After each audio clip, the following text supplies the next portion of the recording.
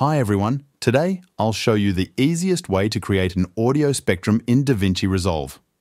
Although creating an audio spectrum directly in DaVinci Resolve can be complex, we'll use a simpler method with a free online tool. First, open your web browser and search for Vizzy.io.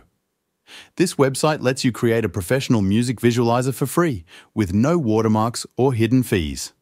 Sign up for the website to access their library of music visualizers. Next, select any visualizer you like and click on Open Project. This will open Vizzy's online editor. In the editor, find the background file of the visualizer and delete it. This will leave you with a visualizer on a black background.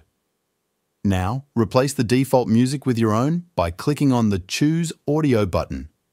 You can also edit other elements like the artist name, music cover image, and more. If you only need the audio spectrum, you can delete these additional elements. Once you've customized the visualizer to your liking, it's time to export it. Go to the File menu in the top left corner, then navigate to Export. Click on Go to Export on the page that opens. Adjust the export settings as needed, then hit Export. Wait for your audio spectrum to finish exporting.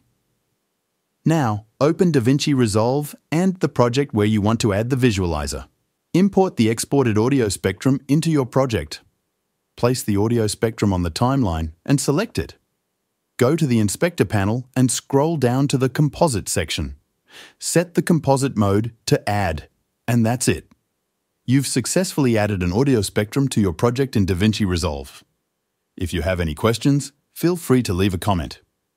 Thanks for watching